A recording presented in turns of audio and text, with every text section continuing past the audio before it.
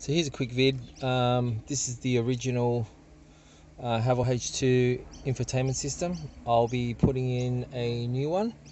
Uh, so hopefully they'll give you a good comparison of what it looks like. The size, it's an old 7 inch.